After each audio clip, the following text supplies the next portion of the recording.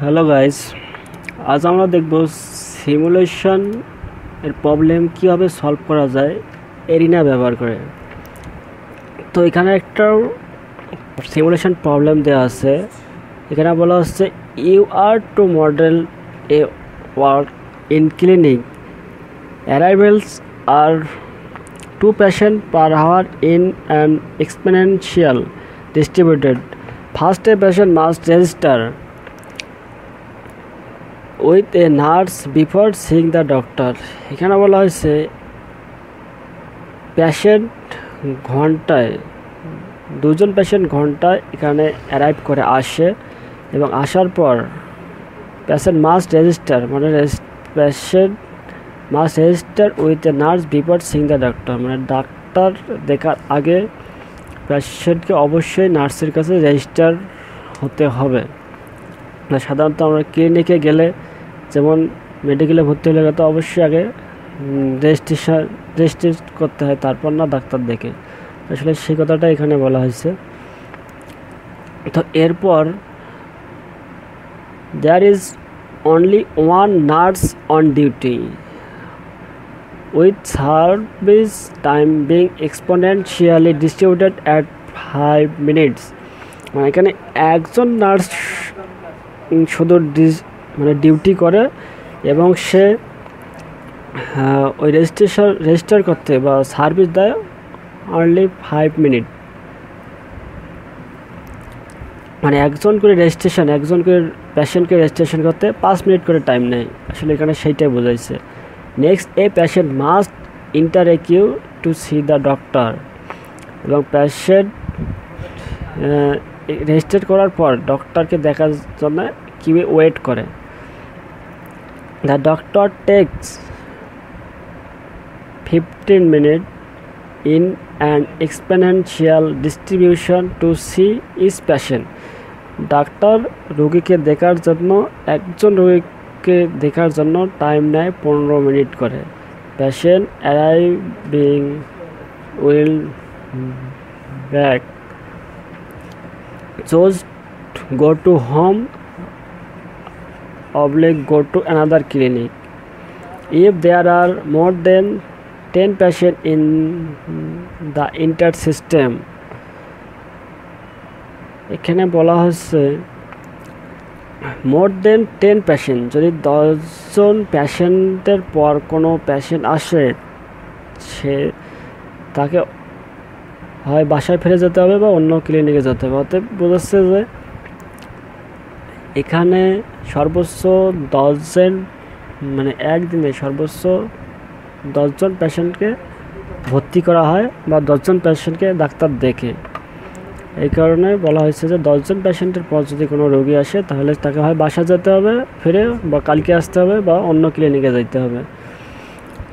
তো এখন যদি আমরা এখানে লক্ষ্য করি, এর প্রসেস কি হবে বা কন্ডিশন আছে কি না তো সাধারণ জ্ঞানে আমাদেরকে এখন যেটা ভাবতে হবে সেটা হচ্ছে একজন পেশেন্ট অ্যারাইভ করে মানে প্যারাই মানে পেশেন্ট ঘন্টায় আসে দুজন করে। তাহলে একজন পেশেন্ট আসতে টাইম লাগতেছে তিরিশ মিনিট পর পর, তাহলে একটা করে পেশেন্ট আসে। আসার পর, তাহলে এটা অ্যারাইভ করল। করার পর, একজন নার্সের কাছে সে ফার্স্ট এসে রেজিস্টার হয়। আর রেজিস্ট নার্স একজন রোগীকে রেজিস্টার করতে টাইম নেয় পাঁচ মিনিট। তাহলে নার্স একটা প্রসেস তারপর ডাক্তার রেজিস্ট্রেশন করার পর সে ডাক্তারের জন্য ওয়েট করে। তো এখন ডাক্তারের কাছে সে আস, এসে কি করতেছে? একজন ডাক্তার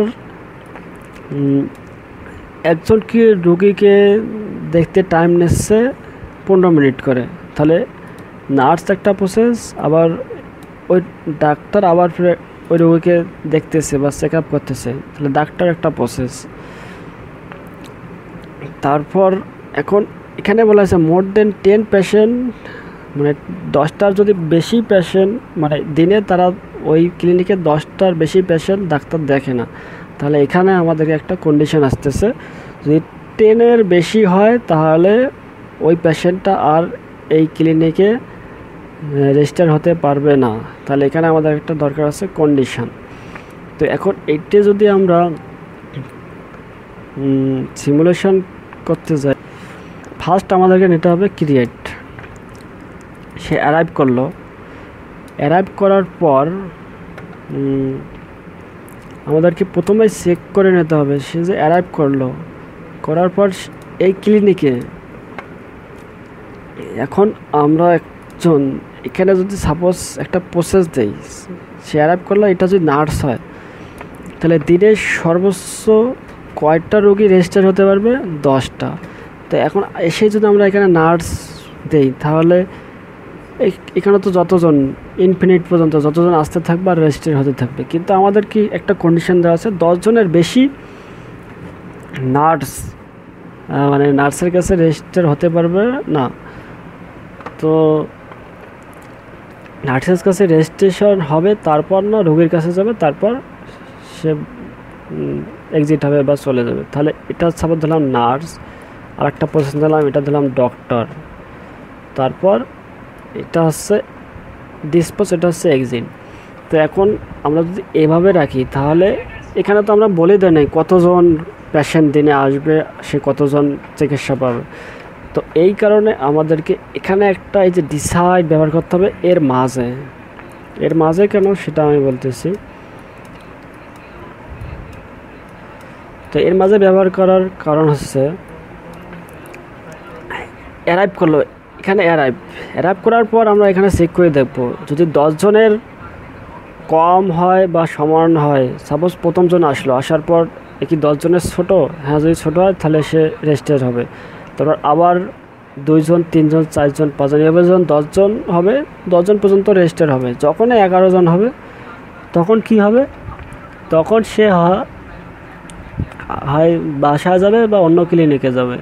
তো এই যদি সে এক কথায় এই মেডিকেলের সার্ভিস হবে না, এই কারণে আমাদেরকে এখান থেকে দিতে হবে এখানে।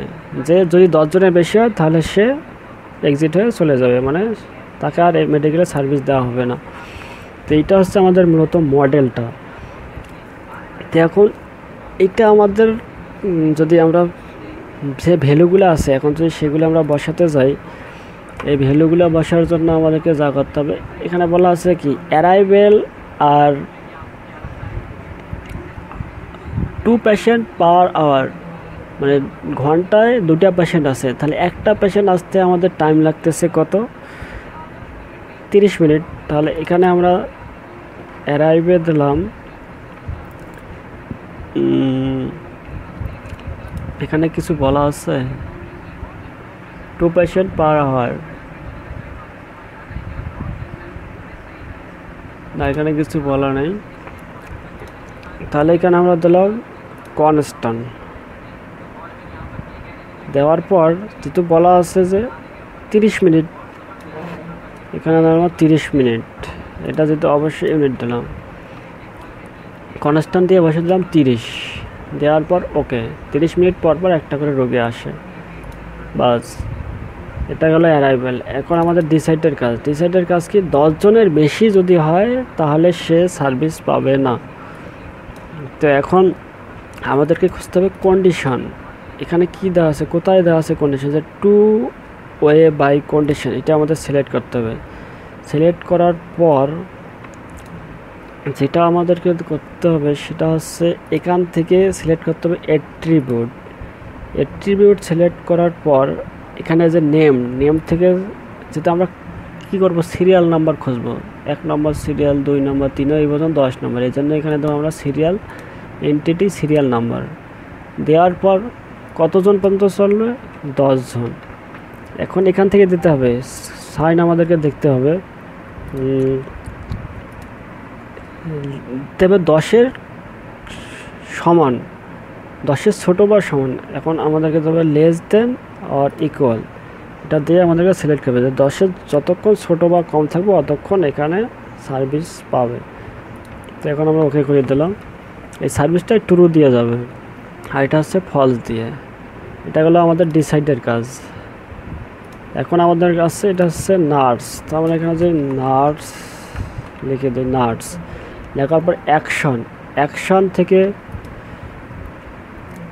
আমাদেরকে দিতে হবে সার্চ দিলে রিলিজ দেওয়ার পর অ্যাড থেকে জাস্ট ওকে করে দিলাম, এখানে কোনো কিছু চেঞ্জ করার প্রয়োজন নাই।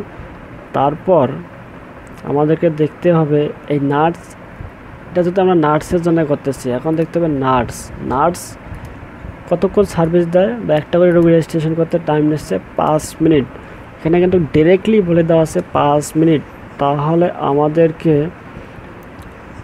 যেটা করতে হবে, এখন এই জায়গায় আমরা কি দেব? কনস্ট্যান্ট নর্মাল ট্রায়াঙ্গেল ইউনিফর্ম যদি ডিরেক্ট বলে দেওয়া থাকে, তাহলে অবশ্যই আমরা দেবো কনস্ট্যান্ট কনস্ট্যান্ট এটা দেবো মিনিট আর কনস্ট্যান্টের ভ্যালুটা ছিল কতক্ষণ করে টাইম নিত? তারা টাইম নিয়েছিল রেজিস্ট্রেশন করতে পাঁচ মিনিট এখানে হবে ফাইভ তো এখানে আর কোনো কিছুই চেঞ্জ করতে হবে না জাস্ট ওকে এরপর আছে ডক্টর ডক্টর নাম দিলেও হবে, না দিলেও হবে। ডক্টর দেওয়ার পর অ্যাকশন অবশ্যই সাইজ দিলে রিলিজ দেওয়ার পর অ্যাড থেকে এখানে দিলাম অ্যাড এরপর ডক্টর একজন রোগীকে দেখার জন্য বা সময় নেয় হচ্ছে ফিফটিন মিনিট তাহলে আমাদেরকে এখানে যেটা করতে হবে সেখানে হচ্ছে, যেহেতু ডিরেক্ট বলে দেওয়া আছে ফিফটিন মিনিট তাহলে কনস্ট্যান্ট মিনিটটা বলে দিতে হবে মিনিট আর ভ্যালুটা বলে দিতে হবে পনেরো। দেওয়ার পর জাস্ট ওকে আর তার নাম শুধু বলে দিলাম এক্সিট তো এখন এরপর আমাদেরকে এটা সেভ করে নিতে হবে। তো আমাদের এই ক্লিনিকটা সার্ভিস বা কতক্ষণ ওপেন থাকে? রানে যায় রানে যায় আমাদের এই ক্লিনিকটা টোটাল সার্ভিস দেবে পাঁচ ঘণ্টা। তোমরা পাঁচ ঘণ্টা দেওয়ার পর এখানে আর কিছু করতে হবে না জাস্ট ওকে ওকে দেওয়ার পর সেভ দিয়ে যদি আমরা রান করি, তাহলে আমরা দেখতে পারব যে এখানে সর্বোচ্চ কতজন? এইখানে তো দশজন। এই দিক দিয়ে সার্ভিস পেয়েছে। তো আমরা যে রেজাল্ট দেওয়ার জন্য ইয়েস করি